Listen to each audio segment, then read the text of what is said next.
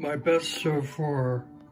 It's uh, two eggs, cheddar, American Swiss cheese, sauteed onions and garlic, and artichoke.